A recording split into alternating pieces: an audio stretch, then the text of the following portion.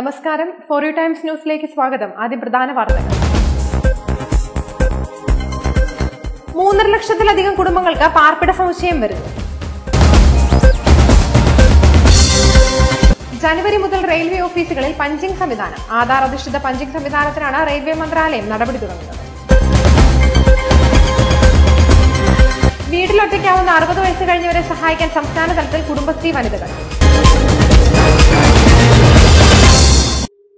ലക്ഷത്തിലധികം കുടുംബങ്ങൾക്ക് പാർപ്പിട സമുച്ചയം വരുന്നു. തദ്ദേശ വകുപ്പ് നടപ്പാക്കുന്ന ലൈഫ് മിഷൻ പദ്ധതിക്ക് കീഴിലെ ഭവന നിർമ്മാണ പദ്ധതിക്ക് വരുന്ന അഞ്ചു മാസത്തിനകം തുടക്കമാകും. ഭവനരഹിതരായ മൂന്ന് ദശാംശം അഞ്ചേഴ് ലക്ഷം കുടുംബങ്ങൾക്കായി സംസ്ഥാന സർക്കാർ പാർപ്പിട സമുച്ചയം ഒരുക്കും. സർക്കാർ സഹായം ലഭിച്ചെങ്കിലും വർഷങ്ങളായി മുടങ്ങിക്കിടക്കുന്ന അൻപത്തിയെട്ടായിരം വീടുകളുടെ പുനർനിർമ്മാണവും ഇതോടൊപ്പം തുടങ്ങും. ലൈഫ് മിഷൻ പദ്ധതിയുടെ കീഴിലെ ഭവന നിർമ്മാണ പദ്ധതിക്ക് അഞ്ചു മാസത്തിനകം തുടക്കമാകും. കൊല്ലം ഇടുക്കി പാലക്കാട് കാസർകോട് മലപ്പുറം കോഴിക്കോട് വയനാട് എന്നിവിടങ്ങളിലാണ് ആദ്യഘട്ടത്തിൽ ഭവന സമുച്ചയങ്ങൾ ഉയരുക. ഇതിൽ മൂന്നെണ്ണത്തിന് അടുത്ത മാസത്തോടെ ഭരണാനുമതി നൽകും. ലൈഫ് മിഷന് വേണ്ടി കുടുംബശ്രീ നടത്തിയ സർവേയിൽ സംസ്ഥാനത്ത് അഞ്ച് ദശാംശം രണ്ട് എട്ട് ലക്ഷം കുടുംബങ്ങൾക്ക് സ്വന്തമായി വീടില്ലെന്ന് കണ്ടെത്തിയിരുന്നു. ഇതിൽ ഒന്ന് ദശാംശം എഴുപത്തിയൊന്ന് ലക്ഷം കുടുംബങ്ങൾക്ക് സ്വന്തമായി സ്ഥലമുണ്ട്. ബാക്കി മൂന്ന് ദശാംശം അഞ്ച് ഏഴ് ലക്ഷം കുടുംബങ്ങൾക്കായാണ് ഭവന സമുച്ചയങ്ങൾ ഒരുക്കുക. പത്ത് ജില്ലകളിലാണ് സർവേ പൂർത്തിയാക്കിയത്. ഭവന സമുച്ചയത്തിൽ ഒരു കുടുംബത്തിന് അയ്യായിരം ചതുരശ്ര അടി സ്ഥലമാണ് നീക്കിവെക്കുക. ഇവിടെ താമസിക്കാൻ മാത്രമായിരിക്കും ഗുണഭോക്താവിന് അവകാശം നൽകുക. നിശ്ചിത തുക മാസം തോറും ഈടാക്കി ഉടമസ്ഥാവകാശം കൈമാറുന്നതും പരിഗണനയിലുണ്ട്. Uralungal labour contract society habitat തുടങ്ങിയ സ്ഥാപനങ്ങളെ നിർമ്മാണ ചുമതല ഏൽപ്പിക്കാനാണ് ആലോചിക്കുന്നത്.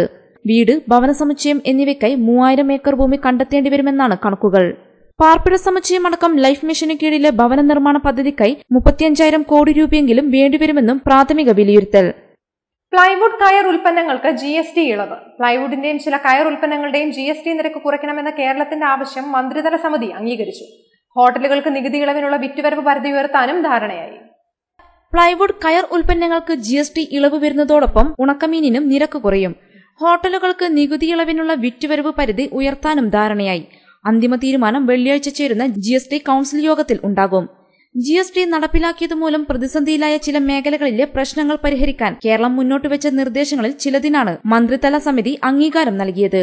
പ്ലൈവുഡിന്റെ നികുതി ഇരുപത്തിയെട്ട് ശതമാനത്തിൽ നിന്നും പതിനെട്ട് ശതമാനമാക്കി താഴ്ത്തും. ഉണക്കമീനിന് പന്ത്രണ്ട് ശതമാനമായിരുന്നു ജി എസ് ടി ഇത് പൂർണമായും ഒഴിവാക്കും. കയർ ഉൽപ്പന്നങ്ങൾക്ക് അഞ്ചു മുതൽ പന്ത്രണ്ട് ശതമാനം നികുതിയാണ് ചുമത്തിയത്. ഇത് അഞ്ചു ശതമാനത്തിലേക്ക് ഏകീകരിക്കുന്നതിലൂടെ ചില കയറുൽപ്പന്നങ്ങളുടെ വില കുറയും. ഹോട്ടൽ മേഖലയിൽ നികുതി നിശ്ചയിക്കുന്നതിനുള്ള വിറ്റുവരവ് പരിധി ഉയർത്തണമെന്ന ആവശ്യവും അംഗീകരിക്കപ്പെട്ടു. നിലവിൽ ഇരുപത് ലക്ഷം രൂപ വരെ വിറ്റുവരവുള്ള ഹോട്ടലുകൾക്ക് നികുതിയില്ല. എഴുപത്തിയഞ്ച് ലക്ഷം രൂപ വരെ വിറ്റുവരവുള്ളവർ അഞ്ചു ശതമാനം കോമ്പോസിഷൻ നികുതിയാണ് അടയ്ക്കുന്നത്. ഇത് താഴ്ത്തുന്നതിലും ധാരണയായിട്ടുണ്ട്. ഹോട്ടൽ മേഖലയിലെ അന്തിമ നിരക്കുകൾ പിന്നീട് ജി എസ് ടി കൌൺസിൽ തീരുമാനിക്കും. വെള്ളിയാഴ്ച ചേരുന്ന ജി എസ് ടി കൌൺസിൽ യോഗം മന്ത്രിതല സമിതിയെടുത്ത തീരുമാനങ്ങൾ അംഗീകരിക്കും. ജനുവരി മുതൽ റെയിൽവേ ഓഫീസുകളിൽ പഞ്ചിംഗ് സംവിധാനം. ആധാർ അധിഷ്ഠിത പഞ്ചിംഗ് സംവിധാനത്തിനാണ് റെയിൽവേ മന്ത്രാലയം നടപടി തുടങ്ങുന്നത്. ജീവനക്കാരുടെ സമയപാലനം ഉറപ്പുവരുത്തുകയാണ് ലക്ഷ്യം. റെയിൽവേയിൽ ജീവനക്കാർ ജോലിക്ക് വരുന്നതിനും പോകുന്നതിനും സമയം പാലിക്കുന്നുണ്ടോ എന്ന് ഉറപ്പുവരുത്താനാണ് റെയിൽവേ ബോർഡ് പഞ്ചിംഗ് സംവിധാനം ഏർപ്പെടുത്താൻ നിർദ്ദേശം വെച്ചത്. മന്ത്രാലയം ഈ നിർദ്ദേശം അംഗീകരിക്കുകയായിരുന്നു. രാജ്യത്തെ എല്ലാ റെയിൽവേ സോണുകളിലേക്കും പഞ്ചിംഗ് സംവിധാനം സംബന്ധിച്ച് അറിയിപ്പ് മന്ത്രാലയം നൽകിയിട്ടുണ്ട്. ഡിവിഷൻ ഓഫീസുകൾ സോണൽ ഓഫീസുകൾ R D S O Kolkata metro rail railway വർക്ക്ഷോപ്പുകൾ ഫാക്ടറികൾ റെയിൽവേ നിർമ്മാണശാലകൾ എന്നിവിടങ്ങളിലാണ് ആദ്യഘട്ടത്തിൽ പഞ്ചിംഗ് മെഷീനുകൾ സ്ഥാപിക്കുന്നത്. നവംബർ മുപ്പതോടെ ഇത് പൂർത്തിയാക്കും. രണ്ടാം ഘട്ടത്തിലാണ് റെയിൽവേ മന്ത്രാലയത്തിന് കീഴിൽ വരുന്ന എല്ലാ ഓഫീസുകളിലും പഞ്ചിംഗ് യൂണിറ്റ് സ്ഥാപിക്കുക. ജനുവരി മുപ്പത്തിയൊന്നോടെ ഇതും പൂർത്തിയാക്കാനാണ് മന്ത്രാലയത്തിന്റെ പദ്ധതി. റെയിൽവേ ബോർഡിലും ചില സോണൽ ആസ്ഥാനങ്ങളിലും മാത്രമാണ് പഞ്ചിംഗ് സംവിധാനം നിലവിലുള്ളത്. ജൂനിയർ ക്രിക്കറ്റ് ടൂർണമെന്റിന് തലശ്ശേരിയിൽ തുടക്കമായി. കണ്ണൂർ ജില്ലാ ക്രിക്കറ്റ് അസോസിയേഷൻ സംഘടിപ്പിക്കുന്ന ടൂർണമെന്റ് നഗരസഭാ അധ്യക്ഷൻ സി കെ രമേശൻ ഉദ്ഘാടനം ചെയ്തു. ജില്ലാ ക്രിക്കറ്റ് അസോസിയേഷൻ നടത്തുന്ന ജൂനിയർ ലീഗ് ക്രിക്കറ്റ് ടൂർണമെന്റ് നഗരസഭാ ചെയർമാൻ സി കെ രമേശൻ ഉദ്ഘാടനം ചെയ്തു.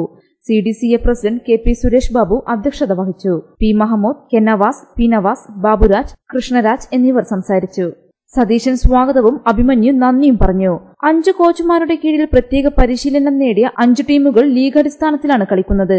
കേരളത്തിൽ ആദ്യമായാണ് ജില്ലാ cricket association junior cricket league tournament സംഘടിപ്പിക്കുന്നത്. Red blue yellow green orange എന്നിങ്ങനെ ടീമുകളായി തിരിച്ചാണ് ടൂർണമെന്റ് സംഘടിപ്പിക്കുന്നത്. ഉദ്ഘാടന മത്സരത്തിൽ കളിക്കാർക്കായി ജേഴ്സി വിതരണവും ചെയ്തു. C D C A president K P Suresh Babu jersey വിതരണം ഉദ്ഘാടനം ചെയ്തു.